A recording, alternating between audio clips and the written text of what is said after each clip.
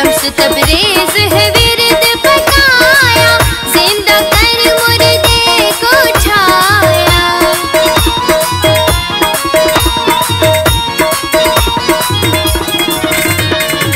शम्स तबरेज है विरद पकाया ज़िंदा